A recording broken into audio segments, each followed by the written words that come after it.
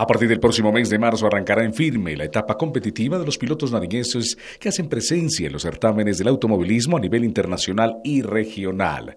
Los nuestros estarán presentes en Yaguarcocha, en la hermana República del Ecuador, en Cabaza, en el Valle del Cauca y en el interior de nuestro país. Pilotos destacados como Aldemar Carvajal, Iván Lozano, entre otros, estarán presentes en los diferentes retos competitivos en esta área del automovilismo.